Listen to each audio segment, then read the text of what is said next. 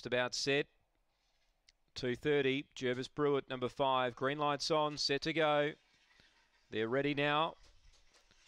And racing, Jervis Brewitt as it normally does, pinged out straight to the lead here. Long Gully Boy tried to push over, gets to second about two lengths away. Hot Princess third, and Stir Crazy last of the four. Leader is Jervis Brewitt by three. Hot Princess second. Long Gully Boy hugs the rail, deep out Stir Crazy. Leader getting tired. Jervis Brewitt a length. Now coming at it was Long Gully Boy on the rail. Long Gully Boy wins from Jervis Brewitt, Stir Crazy, and Hot Princess. Long Gully Boy too good.